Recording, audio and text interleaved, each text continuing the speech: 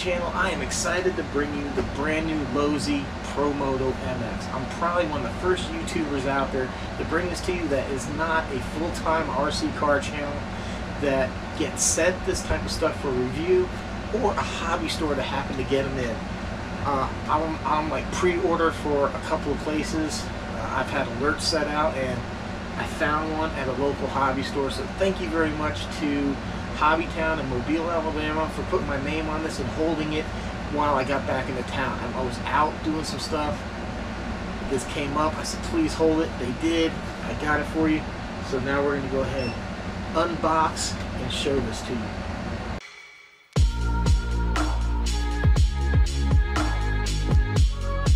Before I cut it open, I'll let you do let you look at this. If you want to pause at any part and read it, feel free.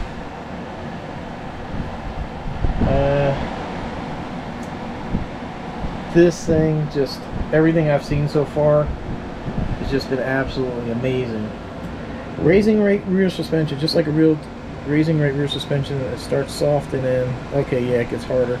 So basically like a uh, progressive rate.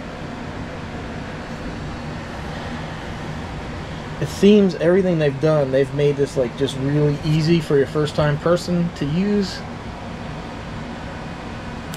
And uh, just make it look authentic and, and, fun to drive.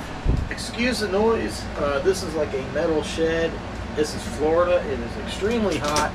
So I have to have that little, little air conditioner running. I know it doesn't make for the best acoustics, but uh, do the best that we can here.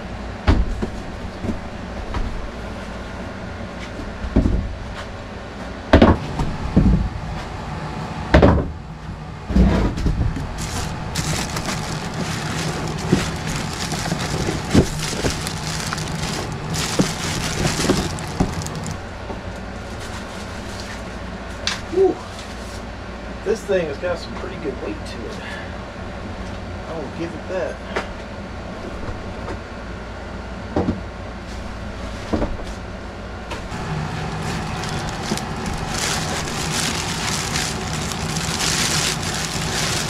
Oh wow. Wow. You can see the videos I've watched does not do this any kind of justice whatsoever. Wow. Man. It just, it looks amazing. The details here.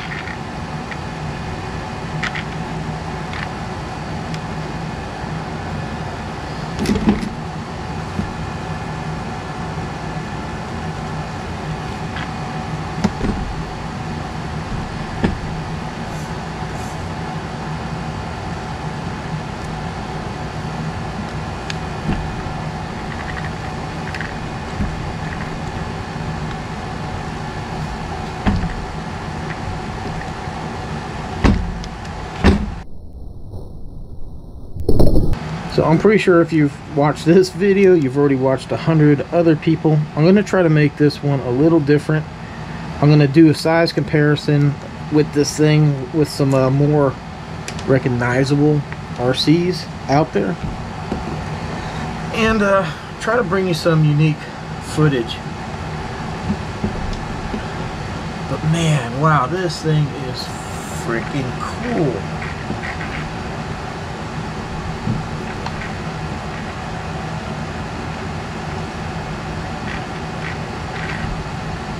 Wow. So, pretty sure you've seen a hundred times. You get a thing of chain lube, which is, feels like it's lubed up. You get a battery spacer. You get some spacers here to put into the back to allow for chain. As the chain wears, you need to adjust it. Then you have some tools here, which from what I if I recall correctly from what I watched, Losi's got some excellent videos on how to fix and repair this. So check it out. It's own web uh, YouTube channel. But I believe these are for like rebuilding the forks, uh, shocks and stuff like that. And then you got the two nails here that are for the starting gate. Oh, that's cool. It matches the uh, bike too. I did not, never notice that on any videos. It is nice they give you some batteries. Not really uh, high quality. I wouldn't leave them in your remote for very long. So we'll go through here. I haven't seen too many people go through the entire packet here. So we'll see everything that's in here. So oh look at that. So oh okay. So if you want to, I guess if you don't like the number that's on there, you can change it. And then they, of course, they throw in a bunch of Losi stickers. ProMoto MX support. Race inspired.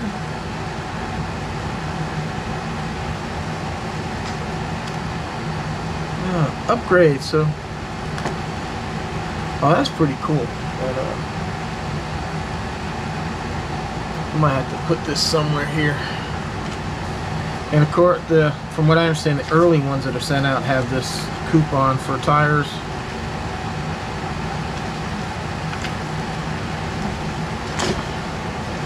So you get a quick start guide. Optional parts. I actually like this aluminum swing arm, but I cannot find it online anywhere. Oh, okay. This is a bunch of numbers. It's hard to see. Hopefully you'll be able to pick it out. So if you use the uh, other stickers, there's no numbers on it, I don't think. Let's see. Yeah. So this is blank. So then you could put your own numbers on it. Cool.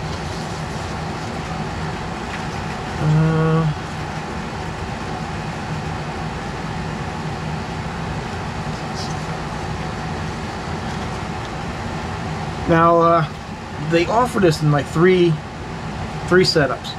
The red and the blue are just the bike, so you're gonna have to buy like your own battery and charger if you don't already have it. The green one is the complete kit, and the green one is like really hard to find. Uh, I really didn't want green, I wanted blue. So I was kind of set on getting blue, but I would have got the green had it been that because you can buy uh, blue fenders, blue, you can buy that kit. And it pretty much works out to be about the same after you buy a blue jersey, the fenders, kind of what you would spend on a battery and charger. So,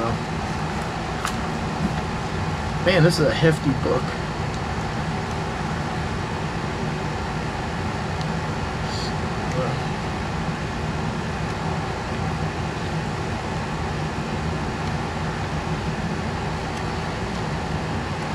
Yeah, so there's the tool in use right there. And that's for the uh, front fork, those two tools. Oh, I cannot wait to use this.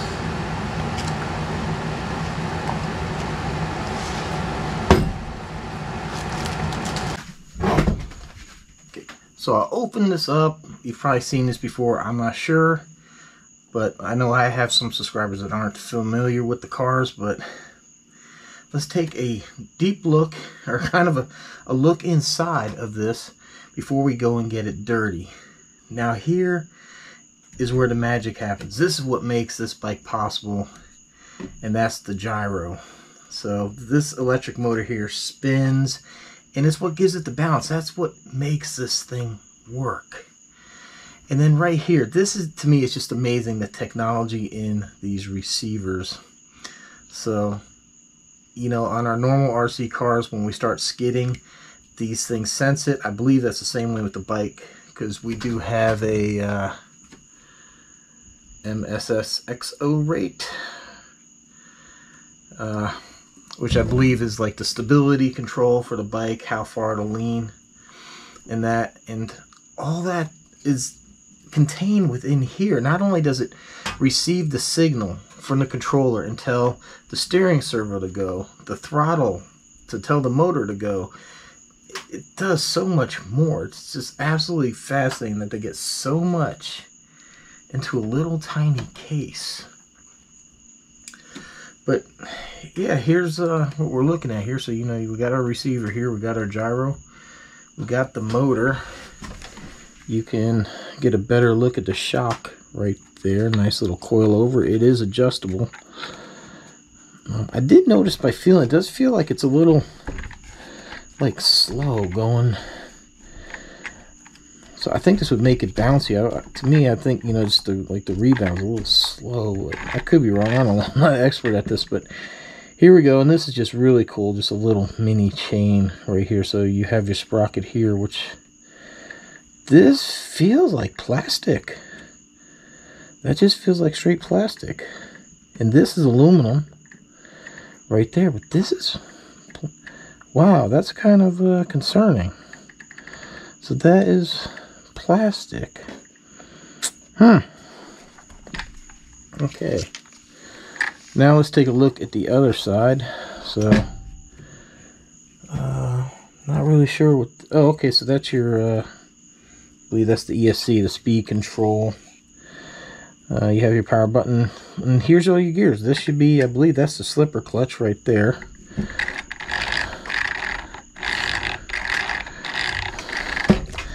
So it has a nice tight seal right here. And okay, so there's your uh, so this is the brake servo. So normally on your RC cars, when you hit the brakes, wow, I think it's raining. So if you hear, actually it's nice, it's nighttime now. Um, I had to take a break. Uh, I'll tell you the story here the battery, but um, where was I? Oh, the brake.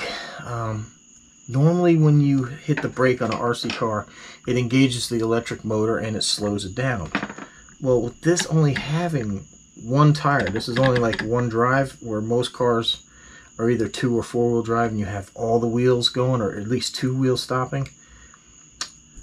This doesn't have that luxury. So when you hit the brakes, you actually engage the motor and you slow it down through here. And then also this servo actuates. Let's see if we can uh, see if you can see that. See that moving?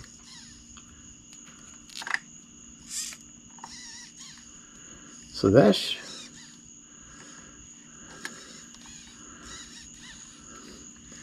so you can see there and now it doesn't spin at all.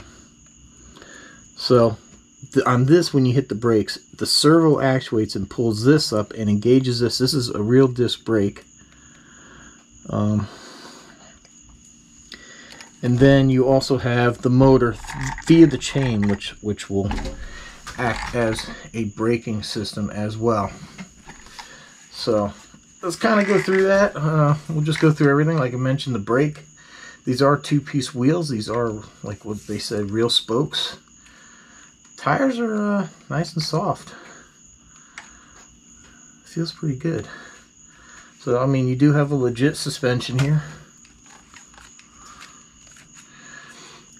And what they did is they built this thing to withstand accidents. So you should, right here, you can see this whole front end pivots so if you do run into something, and inevitably you will, most likely if you're like me, it does have this to give. So that will give a little bit, and that will protect it.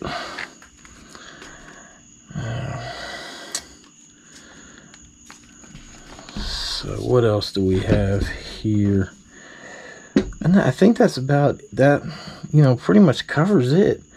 Um, you know, you do have a servo saver down here, which protects us so that way if you rack the handlebars really quick, um, protects the servo from stripping the gears inside.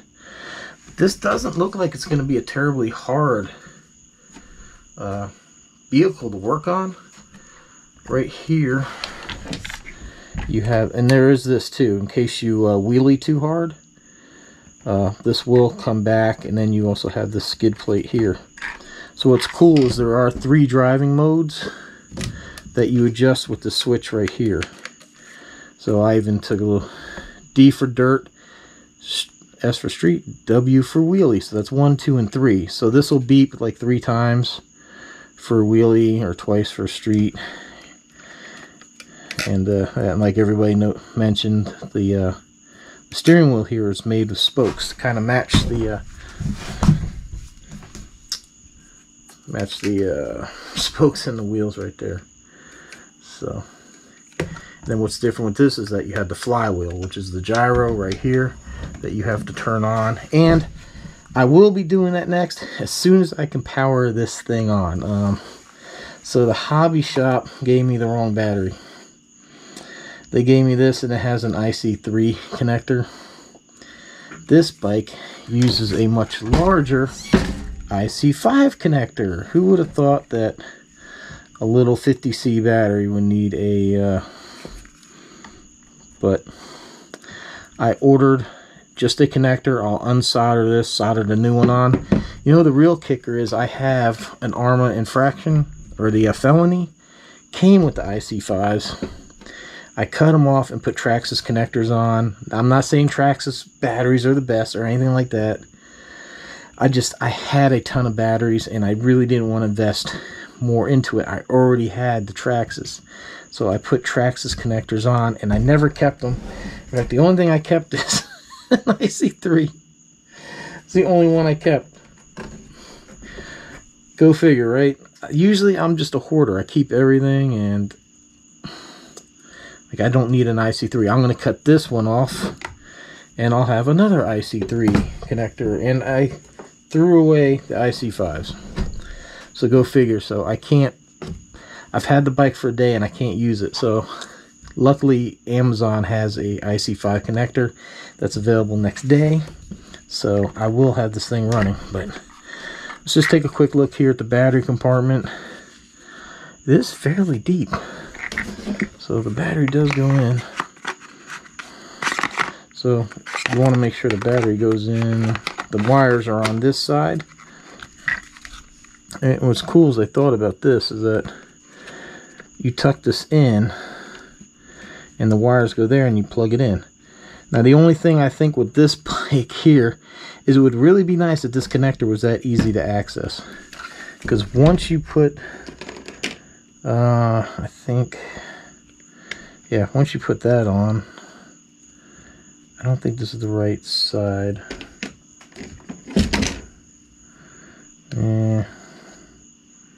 Oh, that's right. It would be one of these. Yeah, once you get that back on, it really hides that. See? So it makes it really hard to get in here. I see some people maybe even just taking this thing off.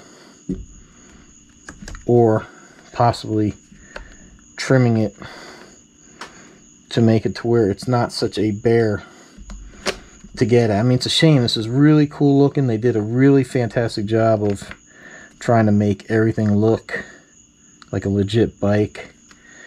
But they they really killed it here. We're trying to get this uh man, wouldn't that have been something that actually fit? I wish. But yeah, um so there you have it. Uh, I hope you uh enjoy this kind of look here. You know, it's weird. You got these cooling fins right here. What look like cooling fins. Maybe that's just designed to look like radiators, but there's absolutely nothing back here that uh, it cools.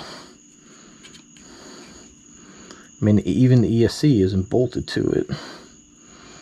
So, it would be cool to open this up a little bit more and see back behind there, but I really don't want to get that in depth with this. Sorry, guys. But I thought that was pretty cool, just you know, because this was quick and easy. Go ahead and open this up and show you kind of some of the inner working. So I'm gonna get a battery. We're gonna take this out for a uh, rip, and uh, next I'm gonna show you a little size comparison between this and some of the regular, more commonly known RC cars. That's how big the Pro Moto is versus a Corgi. This is bigger than the Corgi. All right, uh, I do want to show you. I haven't seen anybody mention this before. There is a way the stand does have a front and a rear. If you look how much deeper this side is than that. So if we look here underneath, see how this piece, and I know it might be hard to see because it's all black components here, but see this piece just snugs into there better than what this does. See how this just kind of slides off. So this piece here kind of locks into this little groove. So this is something I haven't seen anybody point out on. So there is a front and a rear to the stand. Not that it matters too much. It seems to hold good either way, but there we have it. So now we're going to go ahead and do a size comparison with some common RC cars. Pretty common, Traxxas Rustler 4x4 VXL.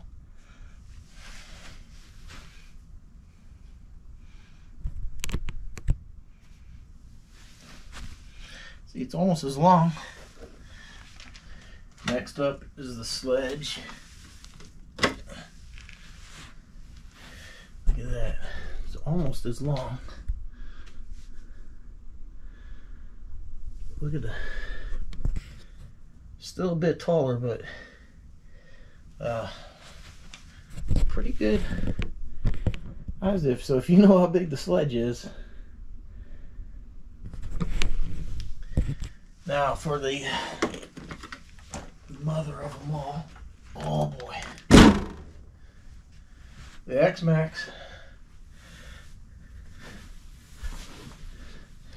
X-Maxx. Dang, X-Maxx is almost as tall. But there you have it. I haven't seen anybody really do a size comparison of any of the more, like I said, traditional RC cars that maybe a lot of us have. So, man, I mean, the X-Maxx almost in comparison with the same height. I'll move on to a couple road vehicles. So there's your infraction. We won't uh we won't keep it all Traxxas here.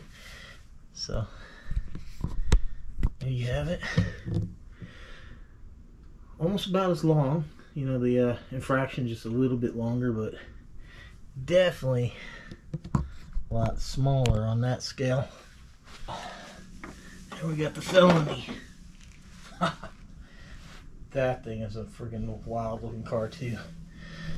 Yeah, definitely not as long as the felony.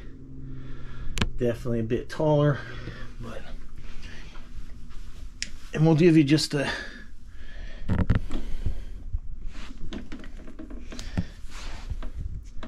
kind of compare how wide this thing is. So it's about as wide as the felony. If you look at comparison wise to everything. So there you have it. Hope that uh kind of gives you a better idea about the size and the scale of what this bike is. All right, I got the battery in and it's working, so let's test everything out. So, yeah, like they said, if you turn right, it steers left. So the steering's reversed, but they said that's normal. I do notice, like, right there it stops, but look, we still have more wheel. So I guess that's just the servo saver will take up the slack. do this and not launch the bike. Um, okay, so. See how when we hit the brake, it stops?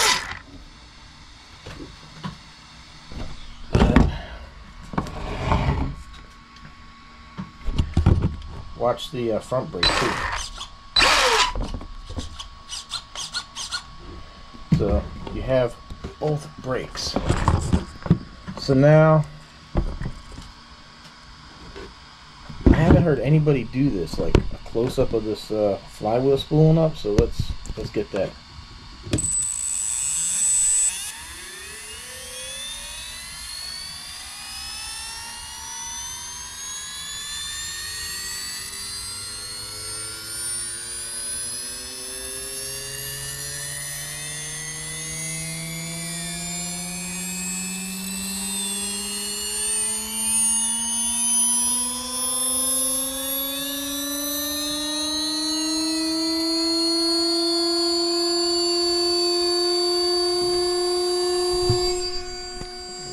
Let's go drive this thing.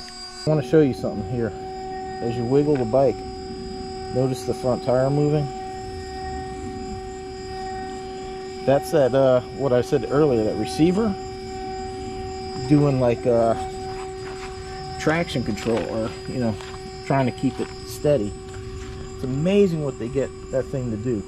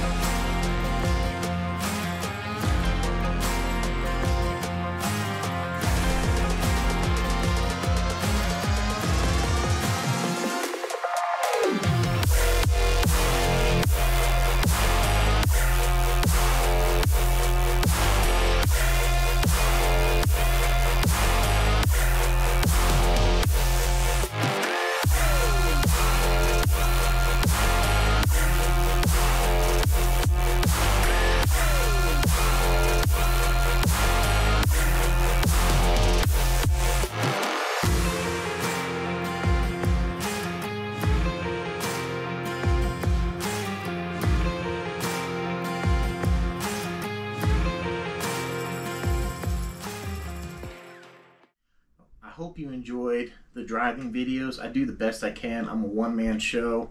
I do everything from a GoPro on my head to the Insta360 on the driver to tripods. I do what I can to get the best shots. You know, if I did this full time and I made a living at this, yeah, I'd probably invest in something, uh, some type of gimbal system that would slide and go by, or I would have my wife or I try to get somebody to help me film, but I'm doing the best I can. You know, I, I, throw this out there for entertainment value and give like my honest opinion on what I believe in stuff. And right now, this is a really hot product, so I know people are craving the information and that on it. And all in all, I, love the thing. I, this is a pretty cool RC. I mean, what's not to like about something that sounds like a turbine spooling up and spooling down? I love it. it reminds me of Blackhawks.